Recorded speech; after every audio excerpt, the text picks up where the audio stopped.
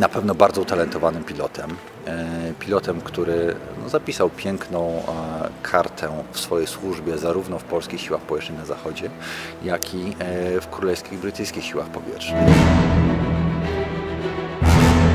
The life and the flying with Del Squadron was the best time in my life.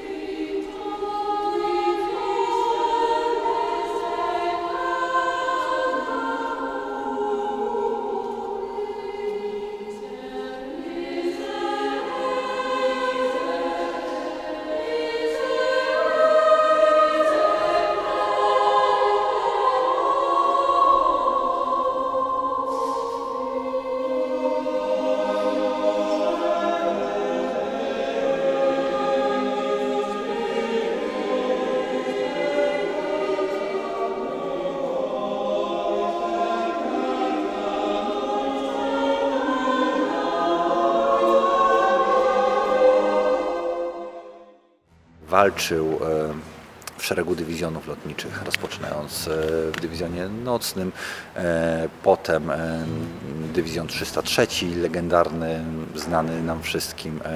Tam również był pilotem myśliwskim, gdzie wykorzystywano właśnie lepiej jego doświadczenie.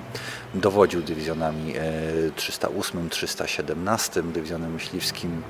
Później zajmował stanowiska sztabowe. To też świadczy o tym, jak Brytyjczycy go docenili, ponieważ tak naprawdę niewielu Polaków dosłużyło się w Królewskich Siłach Powietrznych RAF-ie stopnia składron lidera, czyli odpowiednika naszego majora. Był to już oficer sztabowy, tak, który miał duży zakres kompetencji, duży zakres em, tak naprawdę władzy, w związku z czym e, naprawdę tutaj musiał Brytyjczykom się e, spodobać jako kompetentny oficer. One. The RAF is not a flying circus. Po pierwsze, lotnictwo brytyjskie nie jest latającym cyrkiem. Two, strict RT procedure will be observed at all times. Po drugie, procedura radiowa będzie ściśle przestrzegana przez cały czas. And it is never, repeat, never to be used I nigdy, powtarzam, nigdy nie będzie używana for private Polish chit-chat. Na prywatne polskie rozmówki. Tak naprawdę musiał um, dowodzić podległymi żołnierzami. To tej rolą składron lidera to już nie do końca była um, wsiąść do swojego samolotu, odpalić Spitfire'a i bohatersko polecieć, poprowadzić swojego skrzydłowego bądź trójkę, bądź yy, bądź większą formację. Oczywiście skład liderowie również startowali, walczyli, ale przede wszystkim on musiał zadbać o aprowizację yy, dywizjonu, o to, żeby piloci mieli samoloty, o to, żeby mechanicy mieli zapewniony zapas części, o to, żeby było paliwo.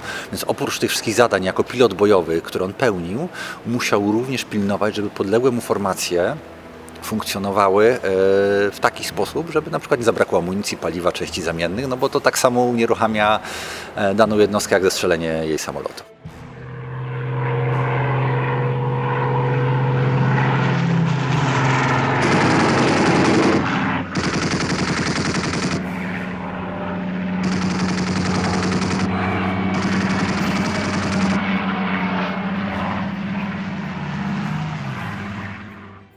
Wyprawy bombowe, którymi Niemcy próbowali steroryzować Anglię, zwłaszcza w pierwszym okresie, nadlatywały i w nocy, i w dzień.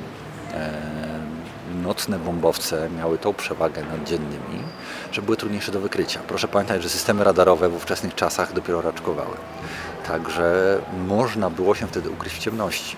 E, oczywiście wiązało się to z pewnymi utrudnieniami. E, samoloty nie miały nawigacji satelitarnej ani innych udogodnień. Trzeba było polegać na stoperze, nawigatorze i dokładności map.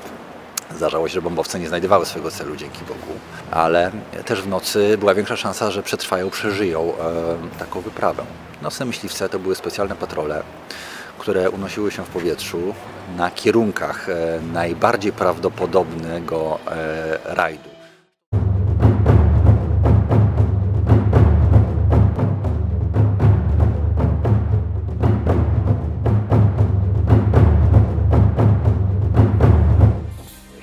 Spojrzymy na listę pilotów, którzy e, brali udział e, w walkach i e, szczycili się ze strzeleniami. Oni się znajdują, polscy piloci, na tak zwanej liście Bajana. To jest taka lista rankingowa, gdzie pojawiają się piloci z największą ilością zestrzeleń i potem coraz niżej, coraz niżej.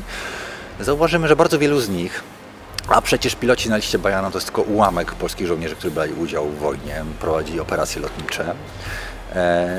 To bardzo wielu z nich ma jedno zestrzelenie, jedną trzecią zestrzelenia, na przykład jeżeli na przykład trzy samoloty zgłosiły prawo zestrzelenia tej samej maszyny wroga. Także tutaj my przyzwyczajamy się, żeby patrzeć na e, tego typu wyniki z perspektywy bohaterów, takich jak Skalski, jak Zumbach. To były oczywiście wybitne jednostki, e, wybitni bohaterowie, ale też musimy pamiętać, że oni wywodzili się z bardzo e, mimo wszystko licznej grupy pilotów, którzy walczyli, którzy startowali. E, Bardzo często loty e, bojowe kończyły się tym, że nie spotykało wroga.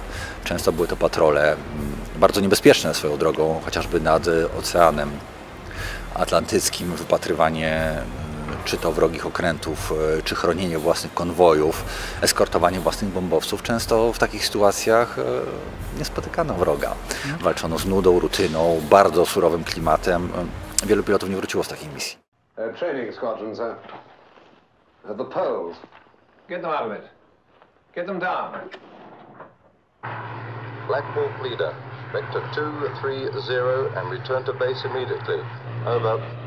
Black Hawk Leader received and understood. Out. Black Hawk Leader to A flight. Turn to port and steer 230. Niemcy! Niemcy! Na dole! Nie widzę ich! Gdzie? Na dole, na prawo! Idę na nich! Widzę ich! Stop that Polish chatter and steer 230. Repeat, please. I say again 230. Repeat, please. For crying out loud. 2 Repeat, please. three, zero. Repeat, please. Repeat, please. Now just shut up, the lot of you, and follow me. Unless you're blind as well as. Oh, Goldstruth. trudne czasy powojenne, kiedy to pan Franciszek decydował pozostać na emigracji, nie powrócił do Polski.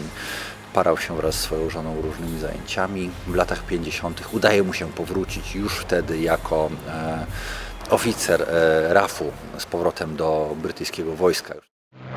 O, uważaj! Jestem za tobą! Mam go! Dostał sztuki! Nimi się! Dziękuję. Odchodzę w prawo. Jestem za tobą! Dostał! Się! Shut up! Silence in Polish! Uważajcie na